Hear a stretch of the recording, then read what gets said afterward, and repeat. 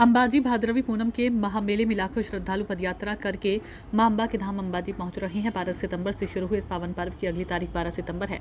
इसका समापन 18 सितंबर को पूनम के दिन किया जाएगा। गौरतलब है कि भदरवी पूनम के इस महामेले में न केवल गुजरात, बल्कि पूरे पश्चिम भारत में लगने वाले बड़े मेलों में दूर दूर से लाखों माई श्रद्धालु भक्तिभाव से आते हैं। इस साल भी लाखों श्रद्धालु दूर दूर से अंबाजी आ रहे हैं। पिछले वर्ष से तीर्थयात्रियों की संख्या में उल्लेखनीय वृद्धि हुई है। अंबाजी, भदरवा, महामेला अब शानदार ढंग से आयोजित किया जा रहा है। सड़कों पर यात्रियों की संख्या में अच्छी बढ़ोतरी देखने को मिल रही है। बनासकांठा कलेक्टर एवं अरासुरी अंबाजी माता देवस्थान ट्रस्ट के अध्यक्ष मेहर पटेल की सलाह एवं मार्गदर्शन में मेले में आने वाले तीर्थयात्रियों को सभी आवश्यक सुविधाएँ उपलब्ध कराई जा रही हैं। अंबाजी की ओर से आने वाली सभी सड़कों पर चोमर और अंबाजी में अच्छी स्वच्छता, पेयजल व्यवस्था और मेले में चलने वाली एसटी बसों की सुविधाएँ देखकर यात्री अपनी खुशी ज़ाहिर कर रहे हैं। अंबाजी दर्शन के लिए आ रही बामड़ की यात्री नैनाबेन पंचाल ने सरकार श्री का आभार व्यक्त करते हुए कहा कि रास्ते में हमें कोई परेशानी नहीं हुई।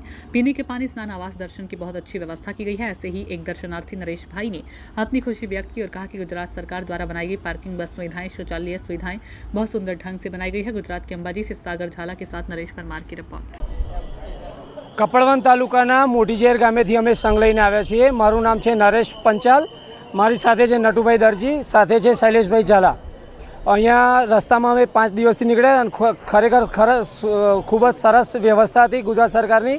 પાર્કિંગની પણ સારી વ્યવસ્થા છે, બસોની પણ સારી સુવિધા છે.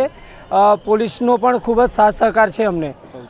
શૌચાલયનો પણ ખૂબ જ સારી વ્યવસ્થા કરેલી છે. તે બદલ અંબાજી ટ્રસ્ટ અને ગુજરાત સરકારનો ખૂબ ખૂબ આભાર માનીએ છીએ.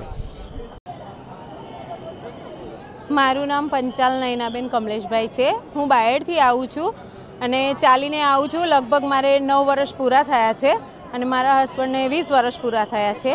મને માતાજી પર ખૂબ અતૂટ શ્રદ્ધા છે. મારું દરેક કાર્ય થાય છે.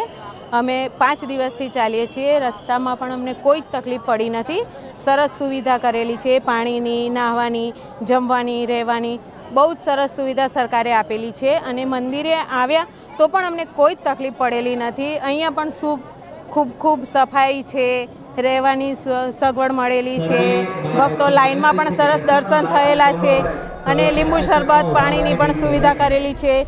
સિનિયર સિટીઝન માટેની પણ વ્યવસ્થા છે. તો અમને કોઈ તકલીફ નથી એટલે સરકારશ્રીનો હું ખૂબ ખૂબ આભાર વ્યક્ત કરું છું. થેન્ક યુ જય અંબે!